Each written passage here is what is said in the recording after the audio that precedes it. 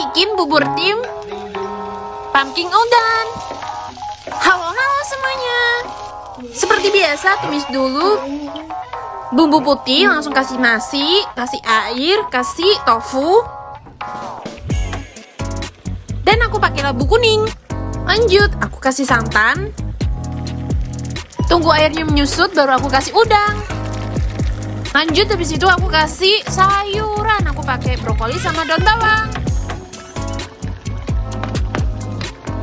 Masak hingga airnya menyusut ya. Nah ini udah jadi deh. Jadi ini tuh creamy banget, soalnya pakai santan juga. Hayu untuk Giana makan. Duh. Alhamdulillah, senangnya lihat anak makan Sak ya. enam bulan ya. Eh, ditunggu resep selanjutnya.